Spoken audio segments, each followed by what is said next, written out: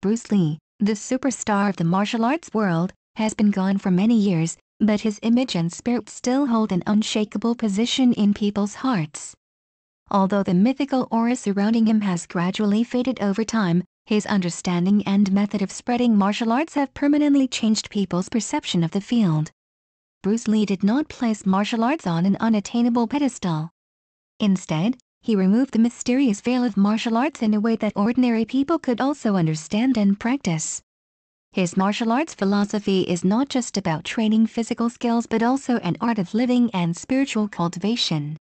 He explained traditional martial arts with modern language and concepts, enabling more people to access and fall in love with this ancient skill. Bruce Lee's influence far exceeds martial arts itself. His movies and image have become a symbol of national pride and spirit. In those days when China had not yet fully risen, Bruce Lee's movies not only showcased the power of Chinese martial arts but also announced the confidence and dignity of the Chinese people to the world. Sha Dan emphasizes that Bruce Lee's movies are not just entertainment but also a cultural force. His films inspired the Chinese national spirit, which remains significant today.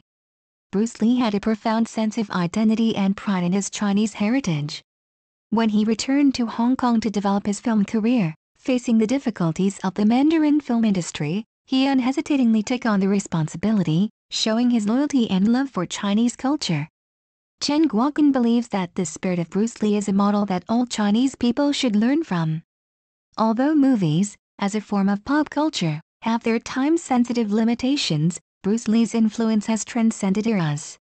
Zhu Hafeng believes that even prophet-like movie stars will inevitably face a decline in influence, but Bruce Lee is an exception.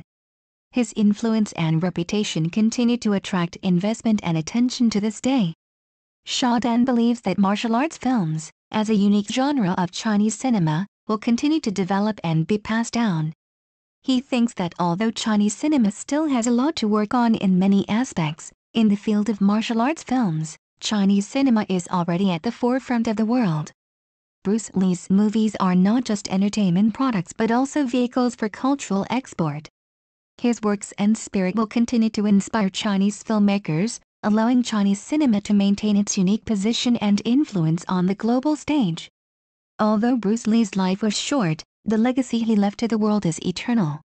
He was not only a martial artist and a movie star but also a cultural disseminator and a symbol of national spirit.